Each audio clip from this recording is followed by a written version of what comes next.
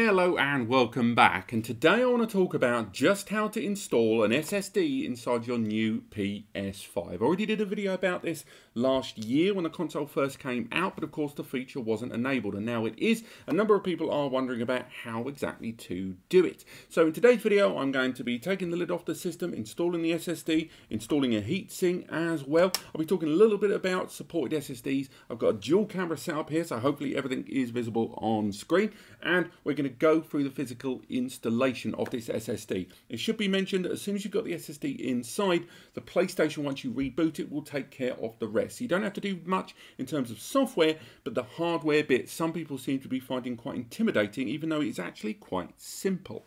So for today's video, what you're going to need is firstly, an SSD, obviously, and today I'm going to be utilizing the Sabrent Rocket 4 Plus. There are a number of supported SSDs ranging from the um, Gigabyte Aorus 7000S, the uh, WD Black SN850, the Samsung 980 Pro, and of course the king of the kings right now, the Fire FireCuda 530. So you can get one of those, but you will also need a heatsink.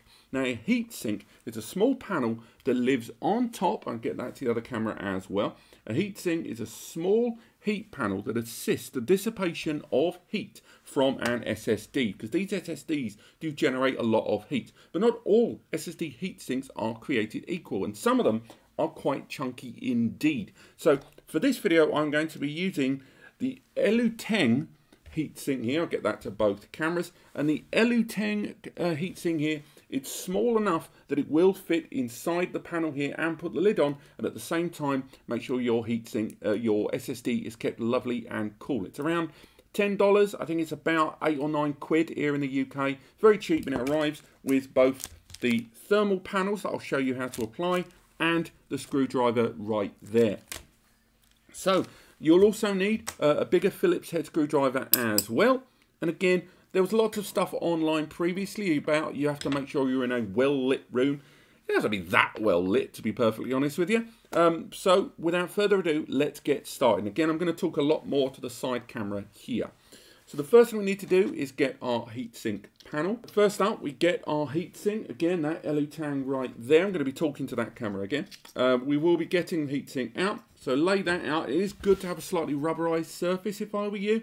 Again, you can use bands like uh, to stop a lot of the conductive material on this. But as long as you've got no power around, I think it should be absolutely fine in the short term. So, first thing we need to do is get our heatsink panels.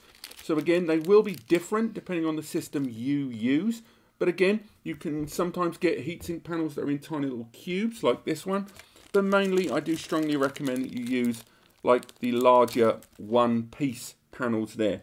One panel needs to go in the base of your heatsink there. So if I remove that, disconnect it, and then you just place it inside, again, the adhesive has to be down, okay? So make sure the adhesive is on the bottom of that panel there to stop it falling out.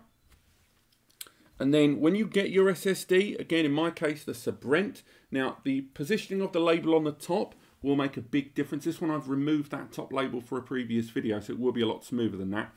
And it's recommended that you look at the dip at the top there of that little connector, and you'll notice all heat sinks will have a dip to show you exactly which end have to go together.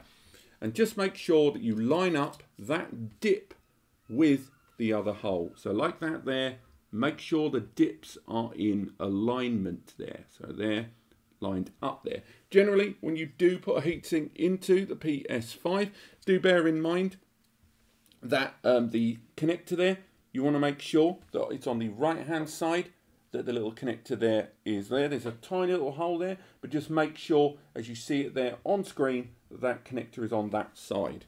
From here now, what we need to do is go our other heatsink panel, remove the plastic layer once again. And again, this one will have plastic layers on either side because this is the one that's going to have a thermal panel on the top. We remove the double-sided there and we place that on the SSD. You can place it on the inside of the heatsink if you choose, but I personally always put it directly on the SSD first to make sure I know that it's covered. So this is how it looks so far. We've got that connector there, and that heatsink will now be pushed down uh, the connector will be covered now by our larger heatsink. Once again, we've got the dip there on screen. So all you do is you put that in alignment with the others. And there you have it. We've now got our heatsink applied on our SSD there. Now again, there are screw holes that you have to apply to put that into each of them there. But again, depending on the height of the SSD you use, you would have to be a little careful about how you line those up. But ultimately, they will go in. Sometimes you have to push it down a little bit to get those holes in place. And now, rather than you guys watching me screw in all six of these, I'm just going to fast forward, but just make sure you screw in all of the included screws that your heatsink arrives with onto the side. So now our SSD is ready and we're all screwed in. The next thing we want to do is to prepare the PlayStation for the installation of this SSD. Now the next thing we need to do, pop that over there, is you get your PlayStation as you see here and place it with the PlayStation logo faced down. Now make sure your hand is where that logo is so you know that that's going to be the furthest away from you. So you place it down like so and remember the PlayStation logo is at this corner here. Next up, place the console down like that, once again with your hand underneath the PS logo. Place this hand on top, your left hand on top of the corner that isn't the PlayStation logo corner and place your other hand underneath. You need to raise this ever so slightly and pull back. This hand is just here to secure the rest of the console.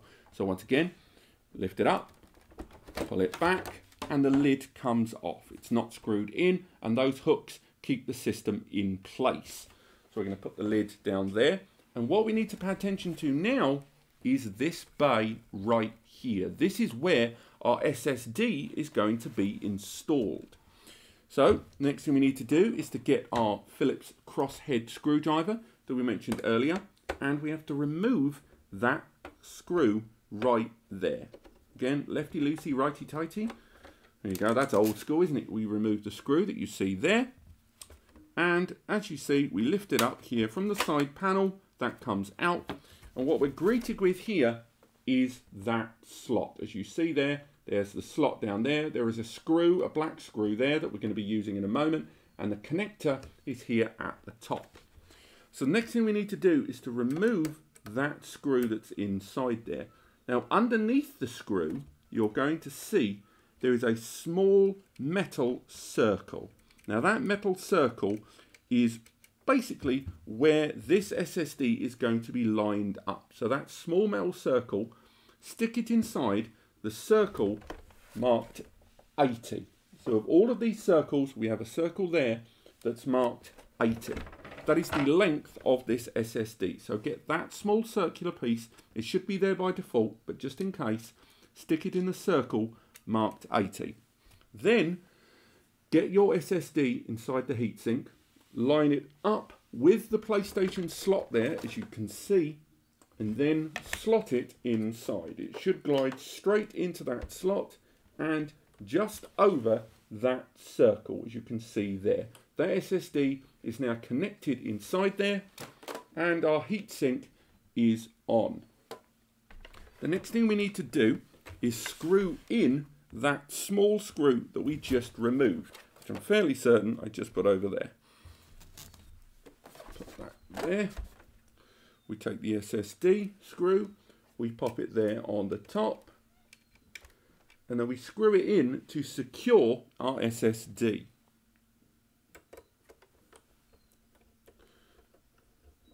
Again, as we screw it in, it will hold the SSD in place and now we've got our SSD and heatsink installed inside our PlayStation. Now, whether you want to keep this closed and covered utilizing this panel here is up to you. There are larger heat sinks available for this system. I wish I had one here. One moment. Some people choose to use larger heat sinks like this one. But if you do take advantage of a large heat sink like this, then it will protrude from the cavity of the PlayStation you will be able to put the plastic lid back on, but you won't be able to use this metal panel. Again, it doesn't really limit dust, it's only really to cover the pace, and me personally, I would use a larger heatsink as it dissipates more heat overall. So now we take our panel back and we secure it back into the slot that we've excavated. And again, it will fit straight in. We take our screw, we place the first screw, the one with the PlayStation logo on it. We grab our screwdriver and we screw this back in.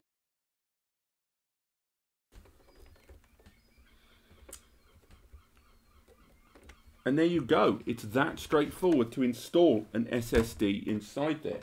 Then we simply take our lid, use if you've got the disk version, the slot there and line it up with the disk bay. But otherwise you should be able to see the curvature of the chassis of the box here. Place that over the top, slightly underneath and slot it back on. It's that straightforward and now we've installed the SSD inside our physical PlayStation and that's really it. Once we install the SSD inside this system and you power the device up for the first time, it will acknowledge that an SSD has been installed inside the PlayStation.